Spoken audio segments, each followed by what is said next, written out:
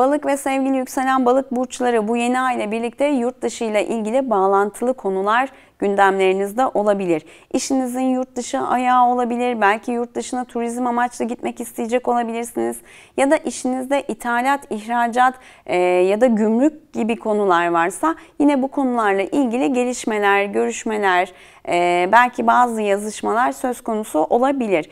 Eğer hukuki bir durumunuz varsa hukuki süreçlerin gelişmesi de söz konusu olabilir ya da hukuki konularla ilgili bazı konuları başlatacak olabilirsiniz ya da onların e, adımını atacak olabilirsiniz. Birazcık hukuki anlamda da bazı gelişmeler tetiklenebilir bu yeni ayla birlikte.